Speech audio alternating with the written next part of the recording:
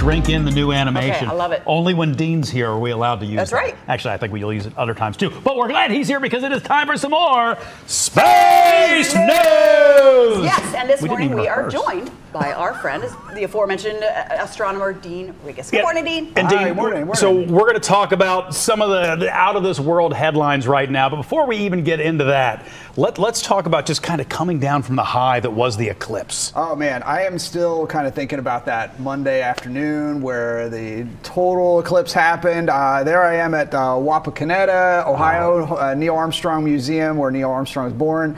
And uh, it was just incredible. As the sun uh, was slowly blocked by the moon, it was really, really cool. And then totality happened. Uh, this is a picture I took during that. So cool. And I was so happy that so many people got to see that because it was clear in Ohio, it was clear The in Indiana. The weather really lined the up, weather didn't was it? really perfect for it. So I've heard so many people got to see that and experience it, and uh, a lot of people said, you know, it was better than even I described it because I, when I describe it, people think that I'm crazy. They Right. think Correct, like, they correct. think I'm off the rails about this, but then they see it and they're like, that was even better than what you said. Yeah. Well, and one of the things we, we kept trying to stress to people was something that you told us was look, 99.8% sounds great, sounds close enough, but it, it, it, it wasn't. You had to be there. And I'm so glad that you encouraged us to do to go to 100% totality because I did. I went to Harrison, Ohio, and took my son, and he was kind of complaining on the way there, like, "Why do we have to drive? It's traffic." And then we got there, and he's like, "Oh, Yeah.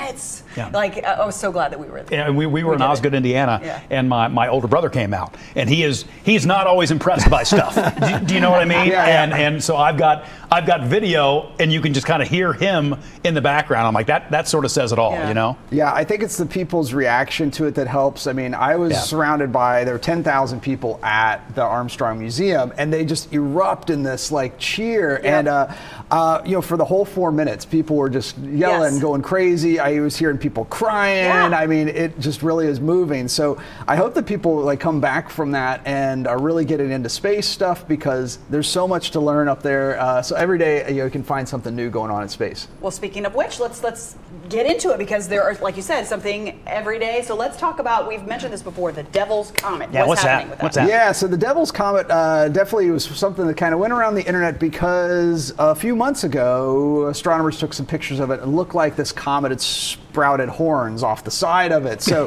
this is a very, very faint comet with a great ad campaign. I mean, uh, so if That's you're good. if you're That's good. expecting like an awesome comet and like you know fire and brimstone coming up in the sky, you're going to be disappointed. It's not even visible to the naked eye. Um, so it is one of those things where it's like cool if you have a telescope and you know where to look. I, I, I'd say just go with what uh, some of the astrophotographers are getting, some of the cool pictures, because it does not look like that picture Gotcha. in a telescope. You're, yeah, you're not going to be able to just look up and see that. So, okay. Could we potentially see, speaking of bigger things and more cooler things probably, the birth of a new star? Yeah, that's the one thing we're watching out for. There's something that's going to happen called a nova. It's a star that will brighten up uh, significantly from naked eye brightness, you know, from beyond naked eye brightness to being able to be seen. Uh, it's a star called T Coronae Borealis in the constellation Corona Borealis. Um, and it hasn't brightened up in decades, and it's expected to happen soon. That's pretty now, cool. soon, uh, who knows? Could be, could be now till fall. That's Okay. the kind of window. Uh, and so it, it's not going to be like dramatically, like, you know, incredibly bright. It's not going to, you know, uh, really light up the night, but it'll be something to look for. And uh, so you don't have to be watching every night. I'll do that, and I'll tell you when it's when it's. There you uh, go. when So it's just out. wa- just watch his yeah, stuff, and just he'll wa- tell you. I'll tell you when it's bright. Didn't there used to be a show called Nova?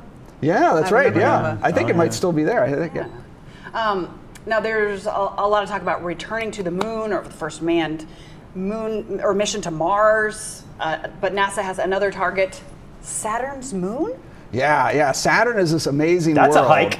It is quite a distance, and so there's this new mission called Dragonfly that is going to send a kind of like a drone to uh, Titan. So Titan we had uh, visited back in the past with a lander called uh, Huygens, and so it landed on the surface of Titan. Titan's like this big moon with an atmosphere on it.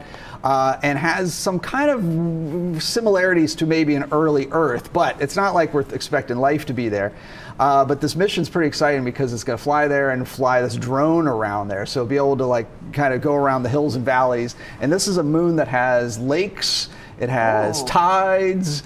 Uh, it has this really neat, uh, thick see that? atmosphere. But the only problem is the lakes are not made of water; they're made of methane. Oh, Oh, So okay. no, uh, no skinny dipping Don't, for don't, you guys. say, do not go take a swim in That's that. right, Would that's right. probably not be a great idea. The, the idea of a drone up there reminds me. Where did we have the little the, the, the helicopter? Was that on Mars? That was on Mars. That's Yeah, right. Yeah, the yeah. Uh, Ingenuity helicopter landed on Mars. It was flew, flew around dozens and dozens of times, and uh, that was a really great success because the idea was, could a drone actually work in an environment where there's low low atmosphere like Mars? And so uh, it worked there, and Titan should be even easier to, to fly there. Super cool. Super cool. Um, is there anything else before we, we gotta let you go? But is there anything else but beyond the things that we've mentioned that you're really, really looking forward to coming up? Oh yeah, so uh, we've got a lunar eclipse in September. This is a very partial lunar eclipse where part of the uh, moon we blocked out. It'll be, I mean, if you saw a total solar eclipse, you know, you're going to be like yawn, but it's going to be, it's still pretty cool.